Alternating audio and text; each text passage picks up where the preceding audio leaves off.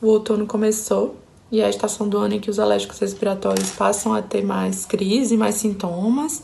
E esse ano a gente está vivendo a pandemia da Covid-19, essa infecção viral que acomete as vias respiratórias, o que tem gerado um pouco de ansiedade e fator de confusão nos pacientes que têm rinite alérgica. Quando que os meus sintomas são de rinite ou poderia ser início de sintomas de Covid? É, essas duas doenças elas têm em comum a congestão nasal e a coriza. Fora isso, a gente pode caracterizar a rinite com uh, a coceira no nariz, no olho, a coceira na garganta, bem característica, né?